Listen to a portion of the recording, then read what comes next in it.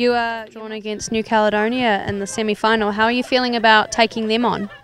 Well, uh, first thing, uh, we avoided uh, New Zealand in the process. Uh, New Caledonia is uh, just e- equally uh, competitive in this competition, so we'll take it game by game. But we'll try and look for weakness where we can uh, step into and penalize them. Yeah, definitely, it's it's not going to be an easy game for us.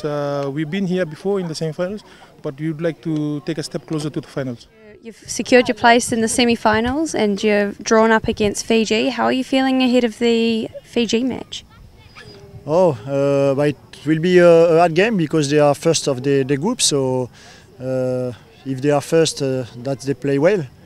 Uh, so we try to to have some good rest, to to find uh, the problems that uh, we we encounter on the field against Tahiti and try to solve them. And uh, but I'm confident with with this player. They they have a very good team spirit, and I think they, they want to go to final and play uh, play for, for the country and show that uh, the women football in New Caledonia are great.